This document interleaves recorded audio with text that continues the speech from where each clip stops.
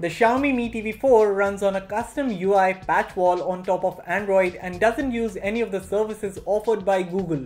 What this means is that there's no Play Store and you'll have to make do with the apps and services that come preloaded on the smart TV.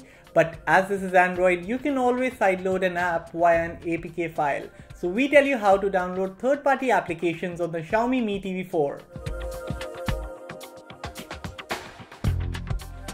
Don't forget to subscribe to our channel and be sure to hit the bell icon so you know when we have a new video. There are numerous sites where you can get an Android app APK file from, but before you do this, be aware that this technique is considered risky and not recommended by the manufacturers.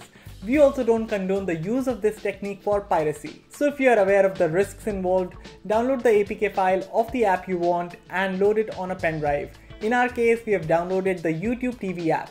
Now attach the pen drive to the TV and on the home page under TV inputs select USB. On the next page open your device and select the APK file you downloaded earlier.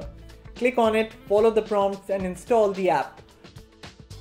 Once done, you can simply open the app and start using it. Now whenever you want to access your side-loaded apps, just go to the home screen under the apps menu, select more and you'll see your side-loaded apps will be present in that folder.